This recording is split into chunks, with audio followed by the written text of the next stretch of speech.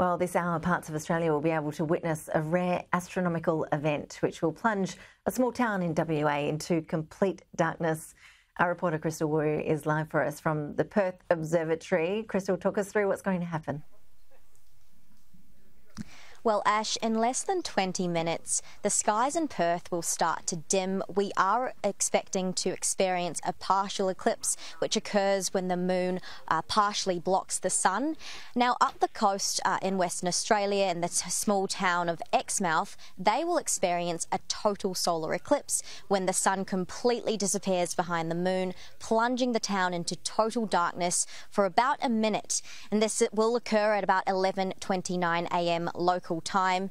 Here in Perth, only 71% of the sun uh, will be blocked from the moon, so we are expecting the skies to dim, but it won't go completely dark. The sky will start to darken. The moon's disk will start to cover the sun. Then at 11.29 it will completely cover the sun, plunge Exmouth into darkness. They'll be able to see the sun's atmosphere, maybe a few of the brighter stars in the sky. And a minute later, the moon will start to move away from the sun. Now, other cities around the country will also be experiencing a partial eclipse. In Broome, 89% of the sun will be covered, in Darwin, 81%, in Perth, 71%. In Melbourne, Sydney, and Canberra, they'll only get about 11 or 10% of the sun covered, and in Hobart, 5% of the sun will be covered.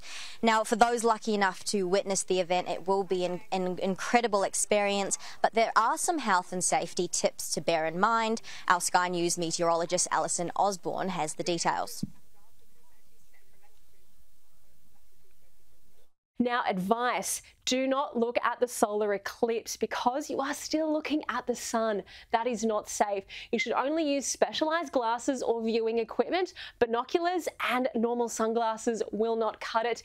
With less than one minute of total darkness expected for most areas, it's not safe even during this period. You don't want to get caught out and do damage to your eyes, but otherwise, enjoy.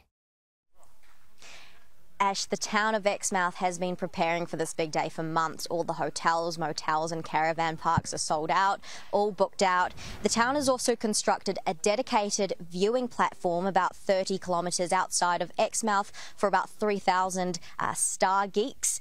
This event will not only attract space geeks from all over the world, it's an opportunity for the small town of Exmouth to put itself on the world map, and there's no doubt the preparation will all be worth it in the end.